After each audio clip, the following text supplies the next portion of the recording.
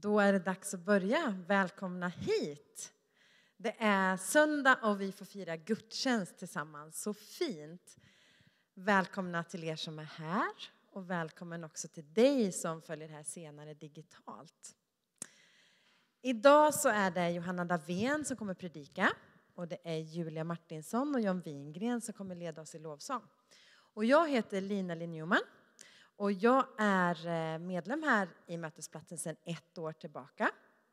Och jag jobbar också på Evangeliska Frikyrkan, eh, den församlings och missionsrörelse som vi här i Mötesplatsen är en del av.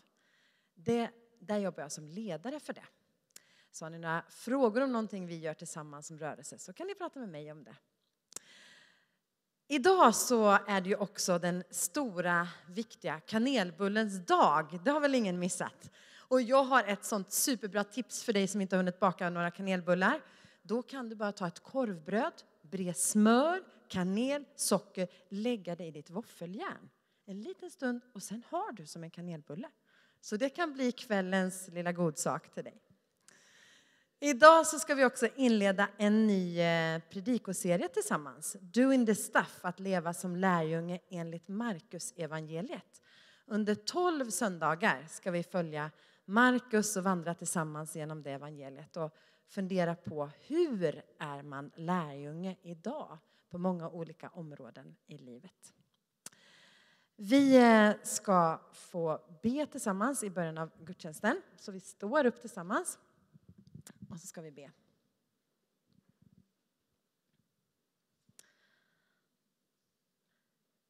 Himmelske Fader, vi tackar dig för den här dagen som du har skapat alldeles underbar. Tack att vi får komma inför dig, Herre, med våra liv och med vår tid och med vår kraft och med vårt fokus den här stunden. Och vi tackar dig för att du alltid vänder ditt ansikte till oss och du vill forma oss och våra liv. Och vi ber att vi nu ska få se mer av vem du är.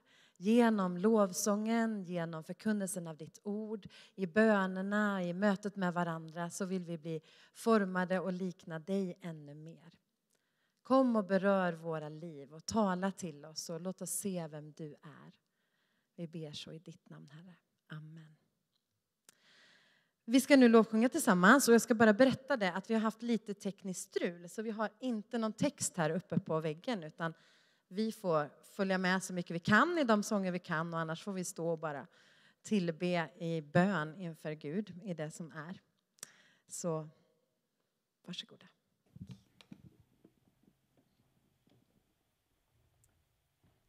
Jag heter Julia som sagt och det här är John och eh, känn frihet här idag. Det är vår önskan och vår bön. Eh, så vi, vi upphöjer vår Gud. Mm.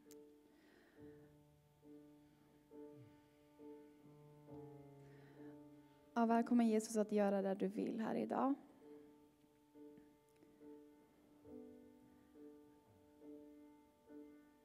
Vi längtar efter att se mer av dig och mer av din härlighet. Vi sjunger helig ande, kom och möt oss här. Helig ande, kom och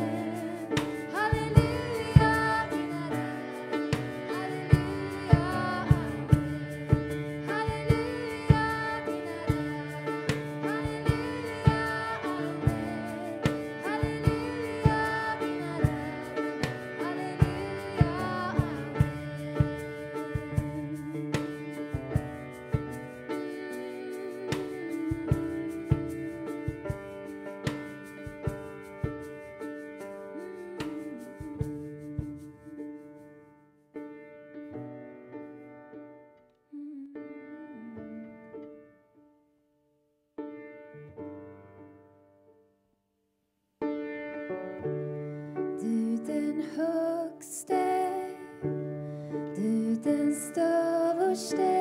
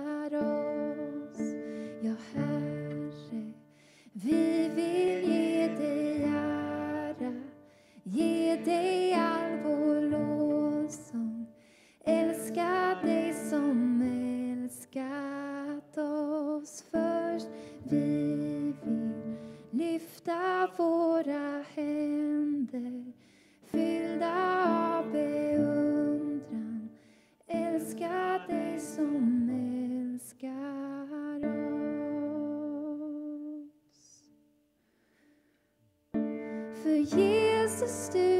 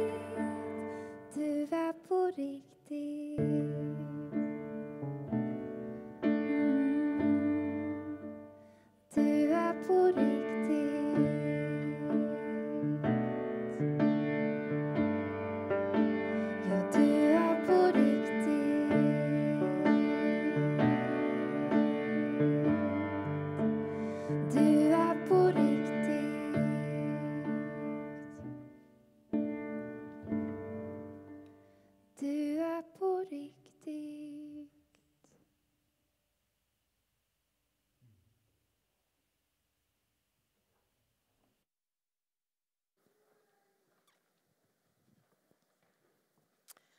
Hejsan!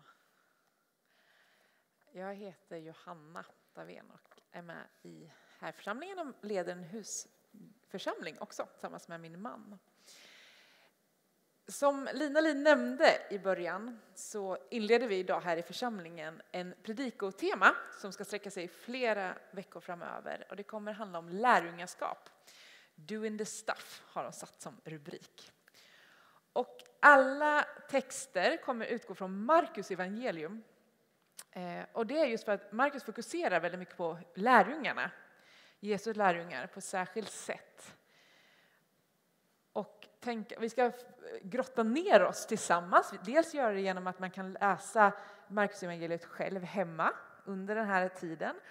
Diskutera det och eh, läsa om det tillsammans i sina husförsamlingar. Men vi gör det också och predikar också om det för att det handlar om lärjungaskap är något man gör. Det är inte bara någonting man är, utan man gör det. Och jag tänkte ge er fyra punkter, fyra fakta om Markus evangeliet som ni kan här, lära er för att ha under den här perioden. Så att om en pastor i den här församlingen skulle ringa upp er mitt i natten och eh, fråga, men säg någonting om Markus, så har ni någonting. Det första, äldsta evangeliet. Tänk så, det äldsta evangeliet. Nummer två det är att det är det kortaste evangeliet av de fyra. Målgruppen var de som inte var judar, som inte kände till alla, den, hela den judiska kulturen. Och för det fjärde, det är fokus på vad Jesus gjorde. Så tänk så, att kom ihåg de här fyra då, att det är det äldsta, det är det kortaste, målgruppen var de som inte var judar, som inte kände till den judiska kulturen och för det fjärde, fokus på vad Jesus gjorde. Och idag så ska vi börja med steg ett i lärjungaskap. Och för att vara lärjunge så börjar det med att bli kallad.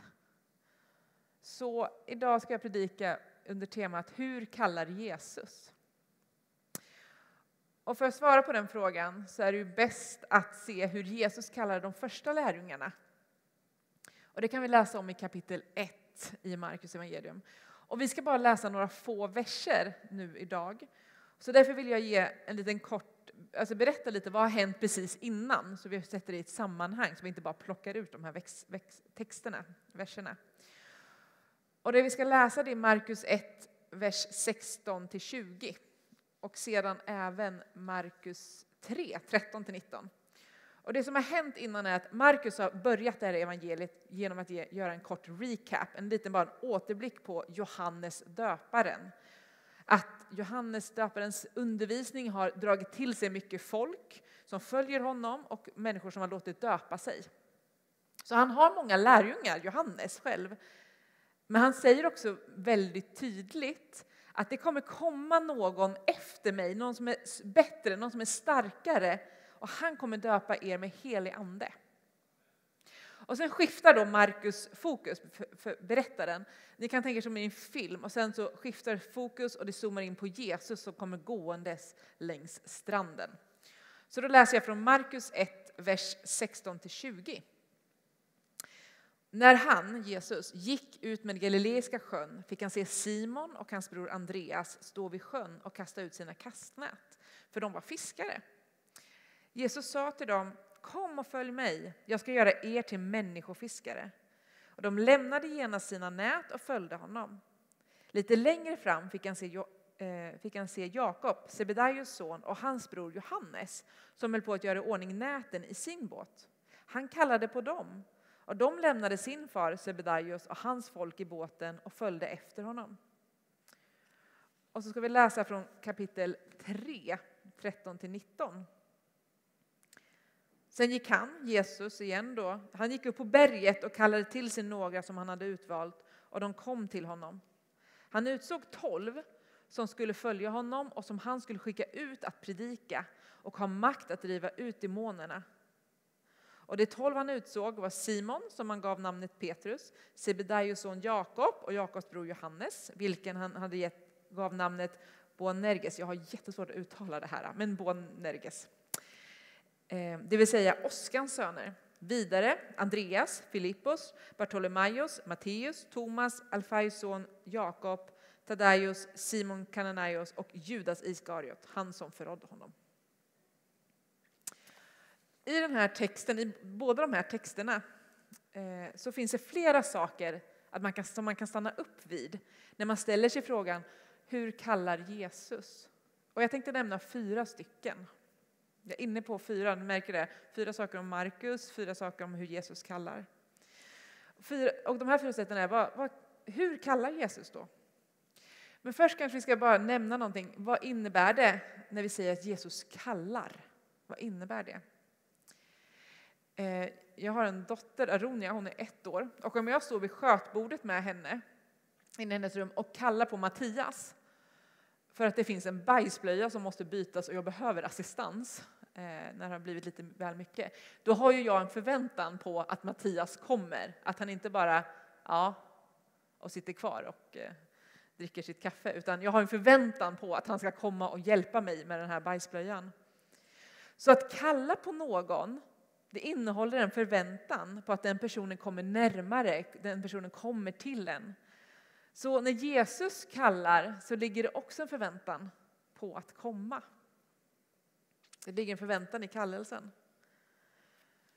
Och det första jag tänkte nämna det är att det är faktum att det är Jesus som kallar i texten.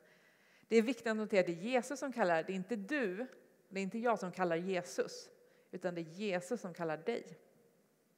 Vid den här tiden när det här skrevs så var det vanligt att rabbiner hade lärjungar. Och de studerade rabbinernas läror, undervisning. Men ordningen var så att det var lärjungen som bestämde sig för en rabbi att följa, att lära sig av. Så den här lärjungen som ville lära sig, den sökte upp någon som den tyckte det här, den här personen är vis, det här vill jag, det här vill jag följa och bad om att få bli dess lärjunge. Det var inte tvärtom. Att rabbin valde sin lärjunge. Och det vi precis läste, det var ju tvärtom. Jesus sökte upp sina lärjungar. Det var inte lärjungarna som sökte upp honom. Och Det är också en anledning till att lite senare så säger Jesus till lärjungarna Ni har inte utvalt mig, det är jag som har utvalt er. Och idag så lever vi med väldigt många valmöjligheter, eller hur? Val av utbildning, val av procent på mjölken, procenthalt på mjölken, val av vårdcentral, val i politiska val, en massa olika val hela tiden. Och det kan ju lätt bli så att vi tänker att vi ska vara som människorna, just också på Jesu tid, och vi ska söka upp en mentor för att bli som den. Bli som henne. Vi väljer en mentor. Och då kanske vi tänker att men det är samma sak med Jesus, på samma sätt. Men Jesus är ju ingen mentor. Han är Messias, han är Guds son. Och han kallar dig, vi kallar, du kallar inte honom. För andra, Jesus kallar drastiskt. Det finns inte en massa olika val, valfria alternativ. På den här tiden så var ens identitet, det fanns i familjen. Det, jag har ju läst att det var Alfais son eller det var Sebedaios son och så vidare. Man var någons son, man tillhörde en familj, en släkt. Och så var det för mig när jag, jag hette, innan jag gifte mig med Mattias så hette jag Rudolfsson. Och sen så hade jag och Mattias träffats och vi hade förlovat oss och han heter Davén i efternamn. Och då skulle min pappa berätta det här för en vän, en äldre herre som ja, jo men Johanna har ju träffat någon, ja men de ska ju förlova sig, jaha, vad heter han då? Nej men han heter Mattias Davén, berättade min pappa. Davén, ett fint baptistiskt familjenamn. Och pappa, min pappa har ingen aning, han, inte, eh, han, han hade ingen aning om det. Han, så han ringer upp mig och bara, Johanna det är ett fint baptistiskt namn du ska få. Jaha, okej. Okay. Eh, så helt plötsligt jag, skulle jag eh, identifiera mig att vara en Davén istället. Men på den tiden så var det drastiskt att Jesus kallar lärjungarna från sin pappa, från sin familj. Och idag så kanske inte vi identifierar oss lika mycket, vår främsta identitet ligger lika mycket i vårt namn, i vår familj. Det kan det vara för vissa, men kanske idag när vi, om vi är nya i ett sammanhang, vi kanske börjar på ett nytt jobb eller en ny utbildning, kanske kommer med i en ny husförsamling. Ehm, vi kanske möter någon ny person på en inflyttningsfest. Så vad är det första, vad, när vi presenterar oss, vad brukar ni säga då? vilken familj ni kommer ifrån. Eller kanske man börjar säga, jo men jag heter Johanna, jag är 36 år, vad jag gör på dagarna, vad jag jobbar med. Eller om jag pluggar eller vad, jag spenderar mest min tid med. För många är det så vi presenterar oss. Det är det vi säger ganska så fort. För det är där ens identitet finns. Och det drastiska idag vore kanske att Jesus kallade oss ifrån den identiteten. Han kallade mig att ja, men sätt ditt jobb nedanför mig. Det är jag som kommer först. Sätt ditt jobb, eller det, vad som identifierar dig, kan vara ditt jobb, men det kan vara din hobby. Att spela musik, dina vänner är vad som identifierar dig, din talang. Han kallar dig och förväntar sig att du sätter honom först och det andra på andra, tredje plats. Hur många av er har sin kalender i er mobil? Ja, kanske hälften i alla fall. Det var inte så många jag trodde faktiskt. Ja, det är många som har kanske gått tillbaka till mer old school. Och hur många använder sig av Google? Ni som har det i er mobil, hur många använder er av Google-kalendern? Ja, men ja, några stycken. Jag är själv en person, jag behöver skriva upp i min kalender i mobilen vad jag ska göra. Om jag, vem jag ska träffa på lördag förmiddag eller vilken tisdag som sophämtningen är, så man inte glömmer ställa ut dem. Eller när jag ska träna. Och jag skriver upp det här för att jag ska inte boka in någonting annat. Och för att jag inte ska glömma att dyka upp när jag har bestämt träff med någon. Och jag kan erkänna att jag kan tycka det är jobbigt att om något oväntat skulle hända när jag redan har planerat någonting. Ja, men den tisdagskvällen, då har jag planerat för att jag ska träffa dem och de vännerna om något skulle hända. När Jesus kallar oss så är det inte när vi sitter redo, jackan på, sitter på bänken, skorna är på och bara nu. Utan vi är i vår vardag. Han kallade lärjungarna medan de var fiskare, medan de höll på att jobba i deras vardag. Han kallar oss mitt i vardagen. Och i Lukas evangeliet så berättas det om en man som Jesus också kallar. Och han, Jesus är då på väg i den här berättelsen, han är på väg till Jerusalem. Och de, det är flera människor runt honom som går med honom. Och en man som kommer fram till Jesus och säger, jag ska följa dig vart du än går. Så vänder sig Jesus till en annan i gruppen och säger just så här personligen och direkt, precis som han har sagt till Simon och till Andreas och Jakob och Johannes som vi har, sagt, som vi har läst om. Han säger till den här mannen, följ mig. Och vet ni vad mannen svarar honom? Ja, men typ, jag har inte riktigt tid just nu, säger han till Jesus. Det står att mannen svarade, Herre, låt mig först gå och begrava min far. Och då sa Jesus, låt de döda begrava sina döda, men gå själv och förkunna Guds rike. Det här kan ju låta väldigt hårt när man läser det. Men man ska tänka på att i den judiska kulturen så var en sons främsta uppgift det var att begrava sin far. Men, och det Jesus säger är att ja, men det finns ju inga ursäkter att inte svara ja på hans kallelse. Det finns inget som är viktigare. Han säger inte att mannen, ska begrava, att mannen inte ska begrava sin far.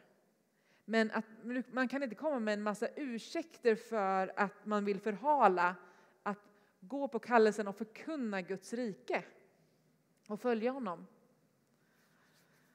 Så frågan är vad det är vi ser som, vad är det du ser som din främsta uppgift idag som du absolut skulle vilja göra klart innan du svarar ja när Jesus kallar? Och har vi idag tid att bli kallade av Jesus? För Jesus kallar enligt sin kalender, inte enligt din Google-kalender. Han kan, han kan kalla när du är på väg hem från jobbet och du går förbi ICA, det sitter en kvinna där och du känner att Jesus säger att men, gå och prata med henne. Men har du egentligen tid? För du har ju faktiskt bestämt att några vänner ska komma hem till dig. Du är ändå inne i det här tempot. Har vi tid idag att bli kallade? Och det är ju ändå så att Gud har full koll på din Google-kalender. Eller om du har det i en, i en vanlig papperskalender så har han också full koll på den. Oavsett om du har delat den med honom eller inte. Men Jesus kallelse och, ge, och att vara lärjunge till Jesus, det bryr sig inte om din Google-kalender. Det bryr sig inte om din papperskalender. Utan Jesus kallelse och lärjungaskapet bryr sig om människor och människors hjärtan.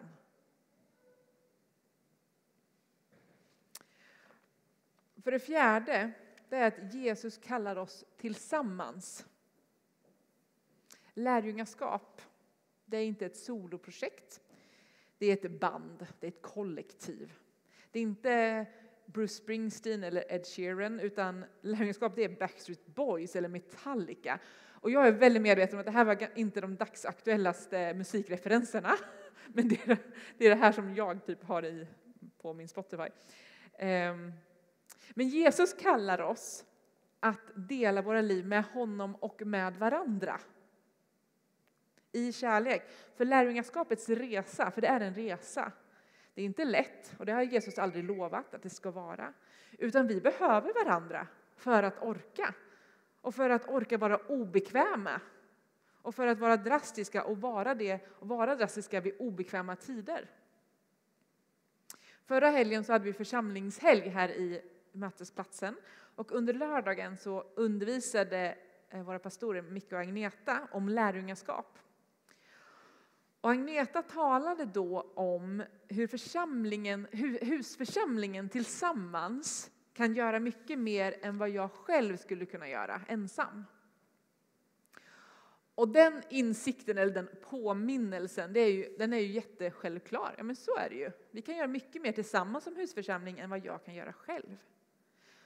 Det påminde mig också om att, och det var ännu, ännu en anledning till varför Jesus kallar oss tillsammans. 2012 så flyttade jag till Sydafrika eh, för att jag sändes ut som missionär. Jag bodde där i tre och ett halvt år. Och jag var med i en bönegrupp, en husförsamling där i den här staden Nelspruit där jag bodde. Och i samma husgrupp så var Rui med. Rui hade levt ett liv som skilde sig väldigt mycket från mitt. Eh, han hade på 90-talet varit legosoldat. Och eh, precis innan han kom till vår husgrupp så hade han suttit i fängelset för ett antal brott, men där hade han blivit frälst. Jesus hade kallat honom. Och nu sitter vi där i samma soffa på onsdagskvällarna. Och jag vet att jag hade tvekat att själv bjuda in honom att läsa Bibeln och be varje onsdagkväll själv. Det hade jag. Men tillsammans i en grupp, tillsammans med en husförsamling, så var ju det helt naturligt. Och jag fick vidgade perspektiv och fler perspektiv på de bibeltexterna vi läste tillsammans. För han kom från helt andra erfarenheter från sitt liv. Och min världsbild vidgades. Så, för att sammanfatta, hur kallar Jesus? Jo, det är Jesus först och främst som kallar, inte du som kallar Jesus. Han kallar drastiskt, enligt sin kalender, inte enligt våran. Och Jesus kallar oss tillsammans. Och nu skulle jag vilja gå ett steg till eh, och säga några ord om vad Jesus kallar oss till.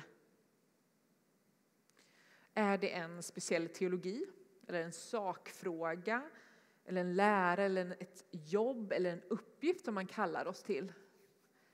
Nej, Jesus kallar oss till sig själv. Det är väldigt enkelt. Jesus kallar oss, vi är kallade till Jesus. Vi är kallade att säga nej till det själviska och ja till Jesus, att gå den vägen. Han visar att acceptera hans plan och hans vilja. Det är det vi är kallade till. Som, som jag sa, så 2012 så flyttade jag till Sydafrika. För jag, när jag, och jag sändes ut som missionär. Eh, och så bland annat så var mötesplatsen en av församlingarna som stöttade mig. Och jag var då 27 år gammal jag hade inte träffat Mattias än, jag bodde här i Örebro, levde ett väldigt härligt liv med mina vänner. Och jag var väldigt säker på att Jesus ville att jag skulle göra det här, att jag skulle flytta, att jag skulle sändas ut som missionär. Men jag minns den eftermiddagen när jag blev uppringd. Jag är på väg hem från jobbet, blir uppringd och får beskedet att jag har antagits som EFKs missionär. Jag grät. Jag gick hem till min lägenhet, la mig i soffan och jag grät. Gjorde jag. Samtidigt, jag visste att det här var Jesu plan för mitt liv. Jag var helt säker på att jag skulle göra det här.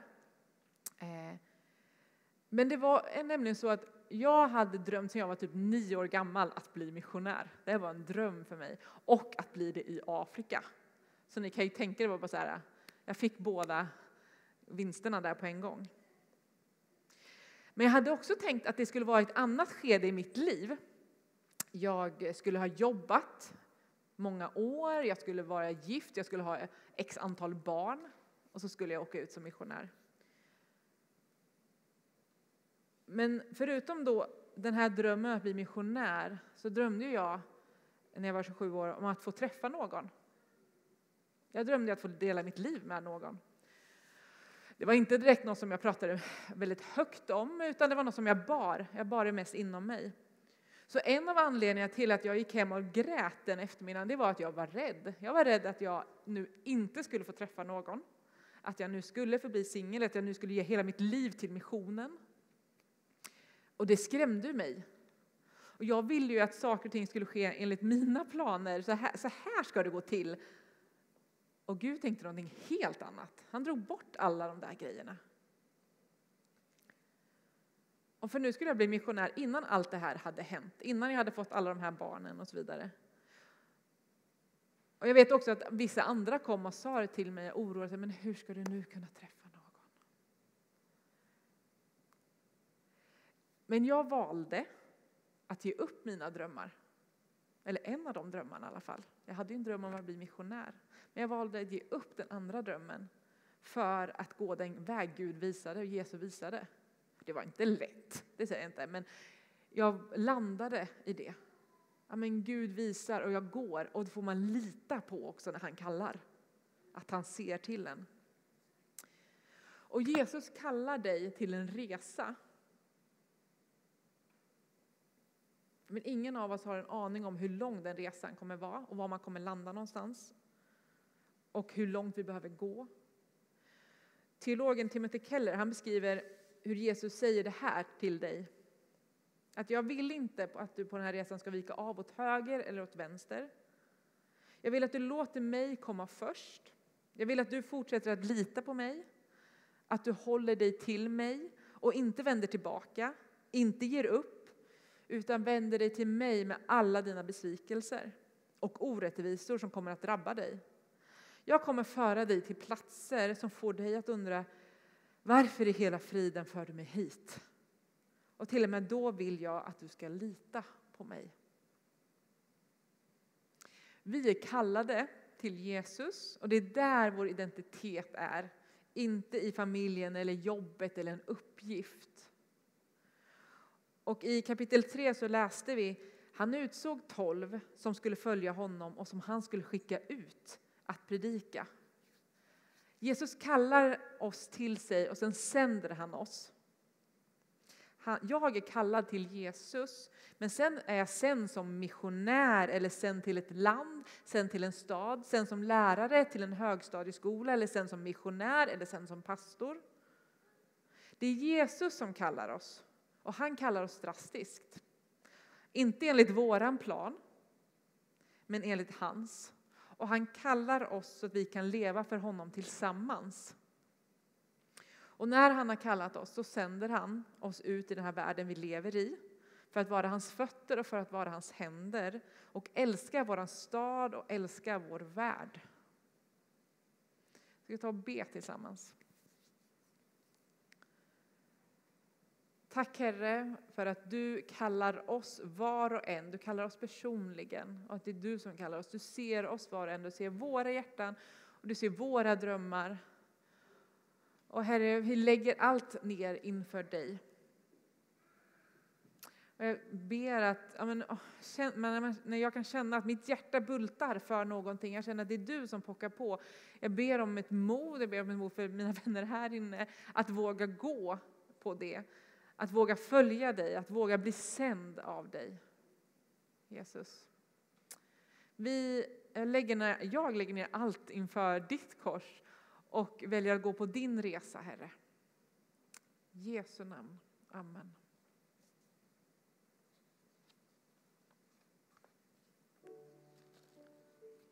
Gud,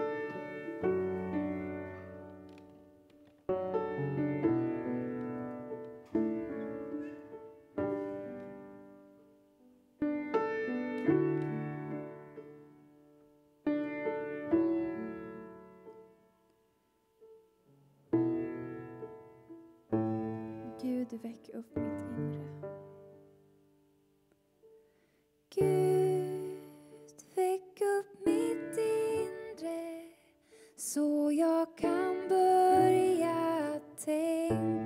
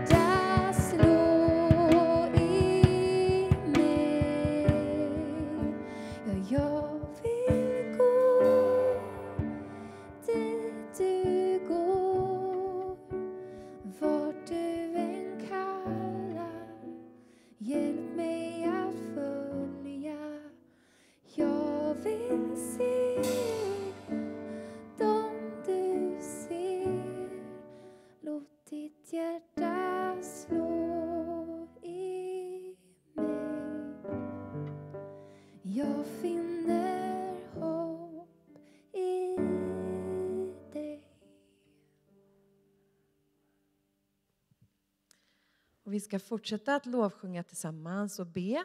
Och det finns förebedjare som har förberett sig för att be för dig, du som finns här i lokalen idag. Och de kommer stå här vid dörren och följa med dig ut här och be på ett coronasäkert sätt.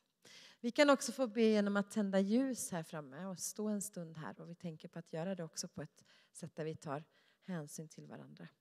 Så vi står upp tillsammans, de som orkar och kan. Och sen deltar vi i lovsången och tillbedjan och så lyssnar vi efter den där rösten som vill kalla oss. Också du som deltar digitalt, lyssna in vad Gud kallar dig till idag. Du som ännu inte har sagt ja till den rösten utan gör det för första gången, du kan få göra det idag. Och då är det bra att också prata med någon om det och få hjälp att be tillsammans. Så vi är inför Guds ansikte en stund till här nu och be på de olika sätten vi vill.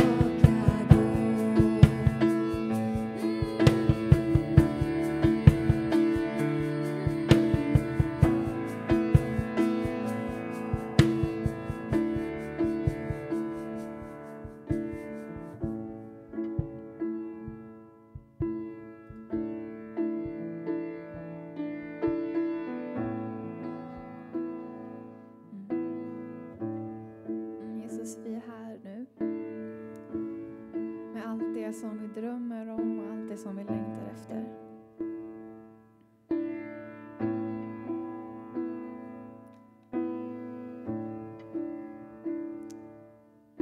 Och mitt i allt det så längtar vi också efter att gå den väg som du kallar oss på. Vi vill ta emot den framtid som du ger oss. Så vi sjunger Vi är här, dina döttrar och söner.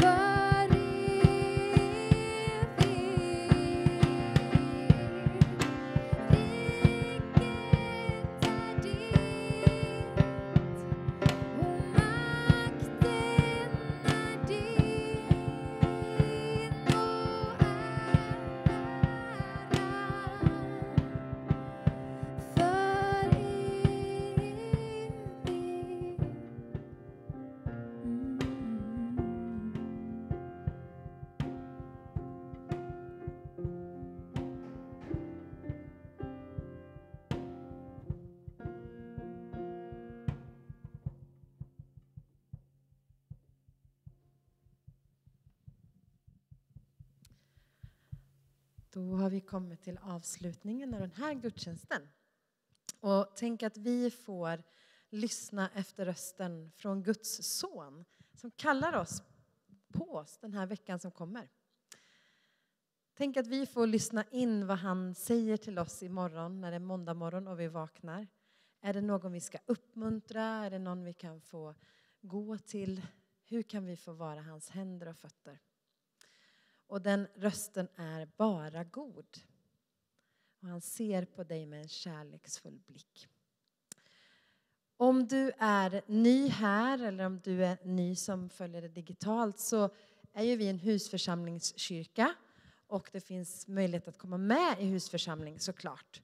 Så kontakta då våra pastorer. Ni hittar ju på sociala medier och sådär alla uppgifter så kan de lotsa er vidare. För vi vill ju såklart att få bli fler. Vi ska få avsluta med att ta emot Herrens välsignelse.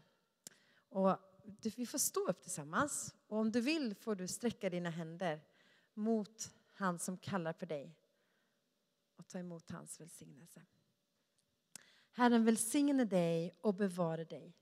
Herren låter sitt ansikte lysa över dig och vara dig nådig. Herren vände sitt ansikte till dig och giver dig frid. I Faderns, Sonens och den helige Andes namn. Amen. Och så får du gå i hans frid och du får tjäna Herren med glädje. Amen.